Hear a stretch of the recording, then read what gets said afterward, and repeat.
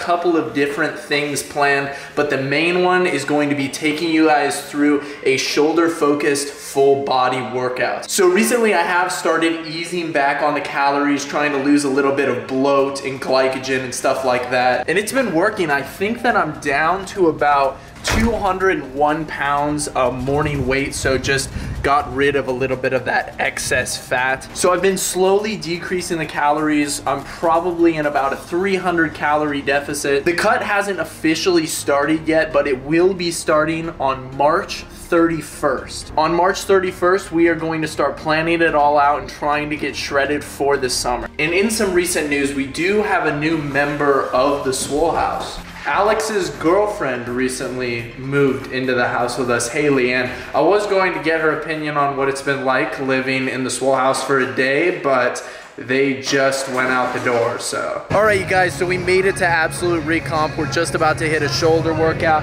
and this is what we're taking for the pre-workout. We've got core. I'll probably do a half scoop of this, and then I am also going to take some of the no stim pre-workout right here. This is also just a pump product, so hopefully we'll get a crazy big pump. Be sure to use code BDON at checkout if you wanna check these things out. I believe this one's out of stock, but the core is still in stock.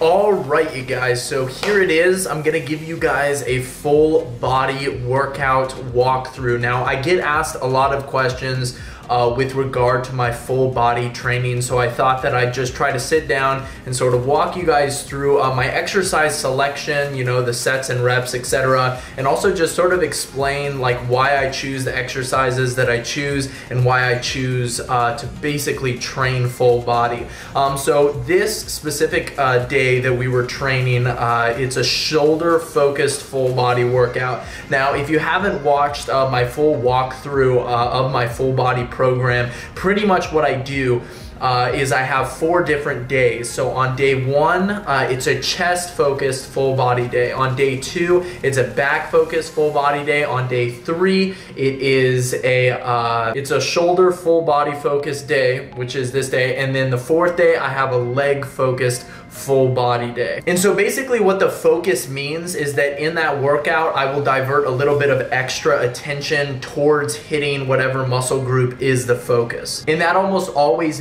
means starting off the workout with a large compound movement that targets that muscle of choice. So obviously today, being a shoulder focused full body day, we're gonna be starting out with some barbell standing overhead press. Now this has got to be uh, one of my favorite movements uh, for the delts. Uh, I've always had trouble, you know, sort of rounding out my shoulders and making the front look, you know, big and juicy. Uh, but pretty much what this really allows me to do is focus solely on my shoulders rather than doing other movements like dumbbell overhead presses that I feel sort of engage my chest a little bit more. So even when I get to the top of every single rep, I can still feel my front delt working a lot. And that's one of my favorite things about this exercise. So I think we did about five sets, so quite a few, five sets of about 10 to 12 reps. Uh, with this movement. And one thing that I love to do is actually superset uh, my overhead press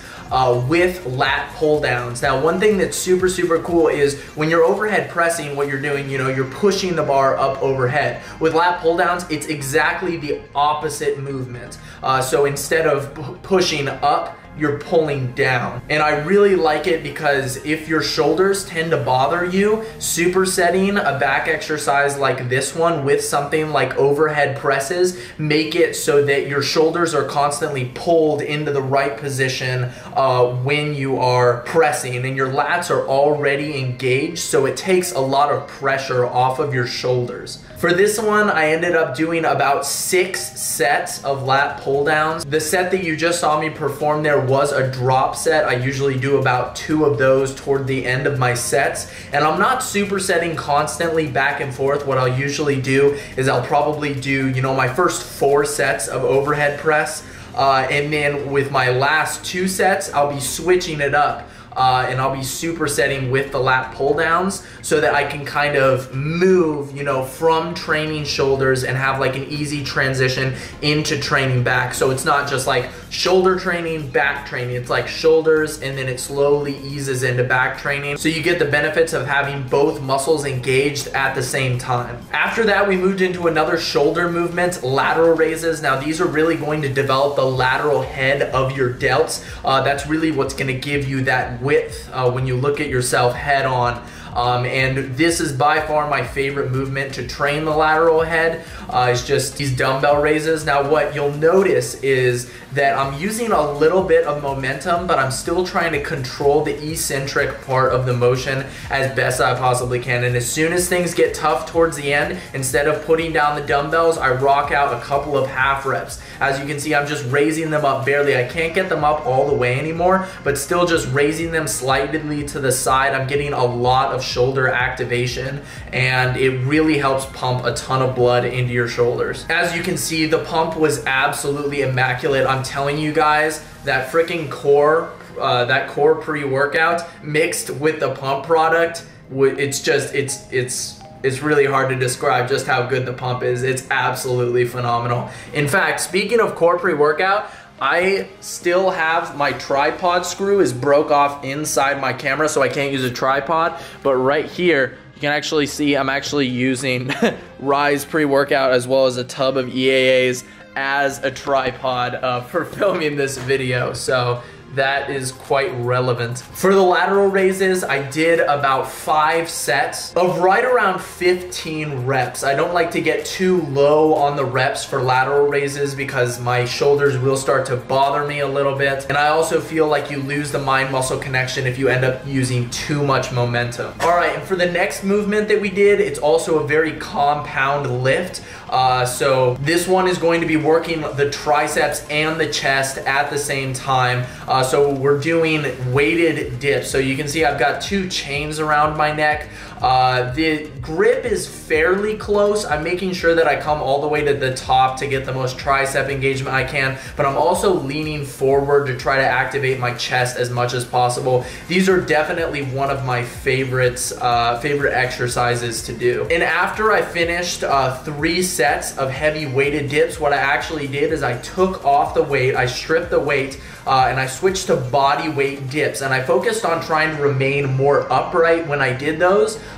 Uh, so the first ones were focusing a little bit more on my chest, uh, but when I stayed more upright, it's hitting my triceps a little bit more. Uh, and I did that for about two sets of about pretty much till failure, probably like 20 to 25 reps to just really finish off those triceps. And then another movement that I ended up doing is this machine row right here. I really like it uh, because it's a high row where I'm grabbing it. Uh, and what I'm focusing on mainly here is my rear delt. So I try to incorporate rear delt work pretty much into every single workout day because, you know, rear delts, you can't really have too big of rear delts and that's what really gives your shoulders the 3D look from the side. Uh, so what you just saw is I switched up the grip and I sort of uh, started using underhand. Once again, focusing on trying to pull all with my rear delts and my upper back and then trying to mitigate the amount uh, that I'm using my lats to pull the weight. All right, and then for one of the last exercises. Every single day is arm day when you're training full body, so I had to end it with some bicep curls. Uh, we did about four sets of these uh, between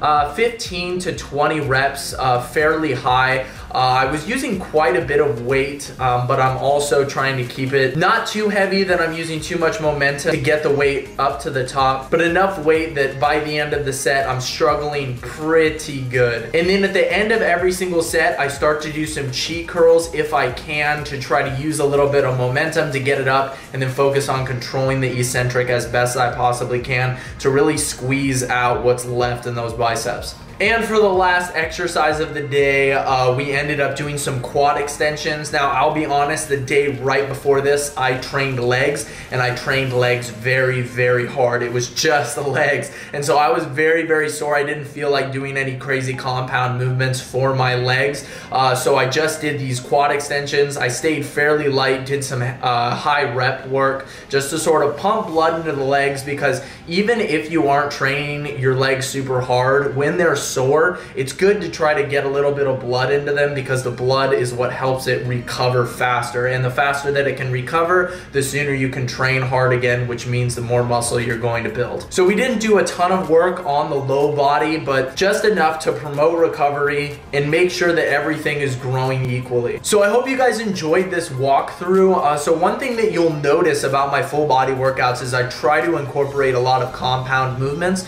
So a lot of the times people are like, how can you, like you must be in the gym for like three hours if you're hitting every single body part every day. That's just not the case. There are a lot of compound movements that use multiple muscles that you can incorporate into your training. So if you need a full workout program, be sure to head over to brandonclarkfitness.com and check out my full body training routine, Ultimate Hypertrophy. It's definitely my best selling program and I've gotten so many people that just didn't even know that full body training could be so helpful when it comes to building muscle. There are so many people out there that are just super committed uh, to training splits all the time, which there's nothing really wrong with splits, but honestly, I just feel like it's sort of inferior to full body training. When you're training full body, you get the increased frequency and you get increased strength because every single day you're hitting, and you get increased strength because you're not hitting the same muscle over and over and over again in one workout. Instead, you're going at it every single day